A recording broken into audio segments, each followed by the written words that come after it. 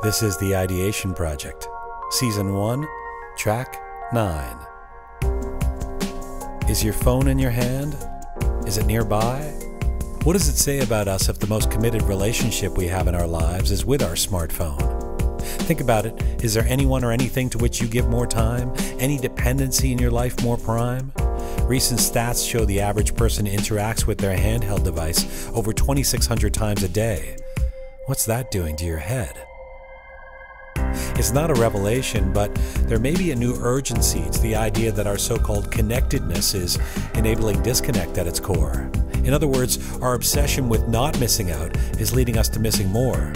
John Lennon once said life is what happens while you're busy making other plans. Well, today, life is increasingly what happens while you're staring downward. That is, with a smartphone in your hands. Is this disconnect any surprise when we no longer look into each other's eyes? We've become slaves to our screens and taken isolation to extremes. We depend on smartphones to determine our clout. We built umbilical cords to incoming headlines. We built an addiction to quick serve information. We've become obsessed with our social media drug and a constant fear of missing out. This year marks the 10th anniversary of the iPhone. Even when Steve Jobs created all that buzz with its inauguration, even when Time magazine screamed Innovation of the Year to describe the sensation, did we know it would become an everyday essential by decade's end?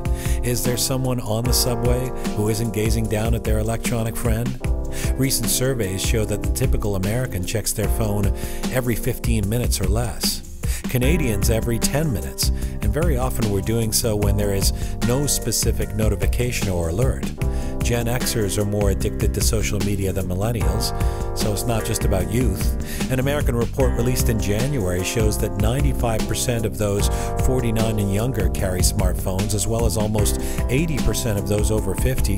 One third of Americans check the phone during meals. Bill Maher noted recently pedestrian deaths are way up because people are driving while looking down at their devices. FOMO, or fear of missing out, has been a concern in recent years, but nomophobia, as it's also known, is growing. In a crazy world of breaking news alerts, there's a sense we need to know exactly what's going on every second of the day, pushed to us in every possible way. Is this disconnect any surprise when we no longer look into each other's eyes? We've become slaves to our screens and taken isolation to extremes. We depend on smartphones to determine our clout. We've built umbilical cords to incoming headlines. We've built an addiction to quick serve information. We've become obsessed with our social media drug and a constant fear of missing out. Maybe all of this would be less scary if it didn't have implications for our mental health. Today, it's not just about the affirmation of likes and retweets, but the practice of checking social media repeatedly over and over and over to alleviate an anxiety of somehow being left out of the loop. It's about being sold the notion that you're losing ground if you're not right on it.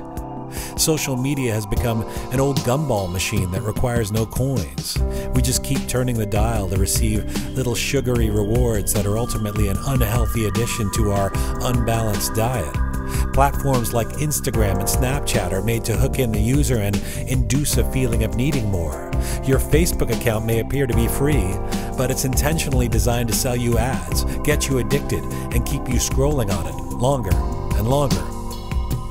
A recent Canadian study of electronic devices and our addictions found that almost 20% of millennials felt enough of a reliance on checking their smartphones that it's caused them to miss school and work. The same study showed that adults addicted to the dopamine hits that come with the beeps and buzzes of our smartphones are losing sleep, feeling more stress, paying the price in their careers or social life. Limiting screen time is not only for little kids. Is this disconnect any surprise when we no longer look into each other's eyes?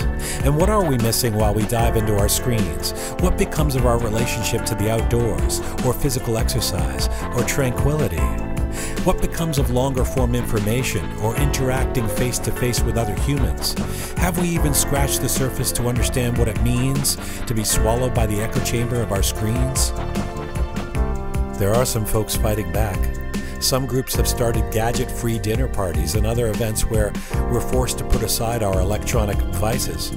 There is a movement afoot in some circles to try to slow down our world and the dominance of online engagement. France made news over the last year in banning work emails outside business hours. This needs to be a collective effort, and it's Herculean. It turns out FOMO might be what we ought to fear the most. We need to work at pressing pause.